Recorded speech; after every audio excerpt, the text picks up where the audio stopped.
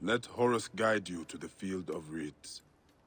And the moon stretches light across your car.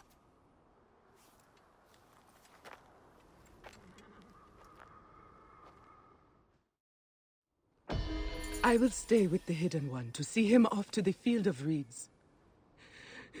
Thank you, Bayek.